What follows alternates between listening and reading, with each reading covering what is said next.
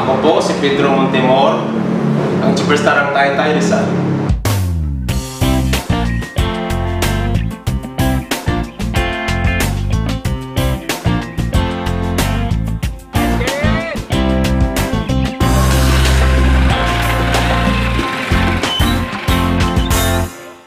Memor ako ng Piping Pasada Club ng 3 months. Pag tuwing pakarga namin may points.